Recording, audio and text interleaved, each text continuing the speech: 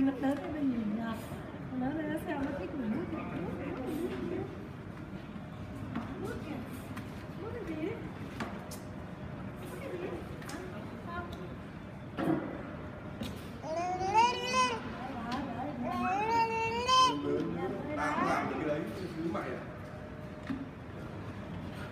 Mình nó làm được thôi.